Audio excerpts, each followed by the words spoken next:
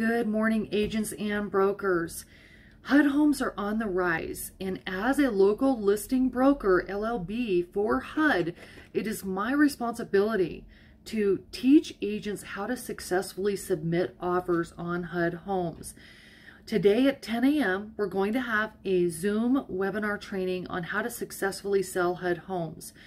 Together with the NRBA, Arizona, and Nevada members, we're going to walk you step by step on how you should submit an offer.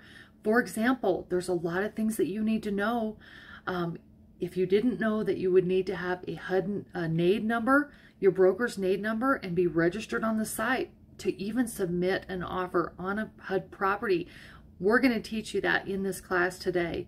It's very important as new properties are hitting the market that you're up to date on everything that's happening as a real estate professional.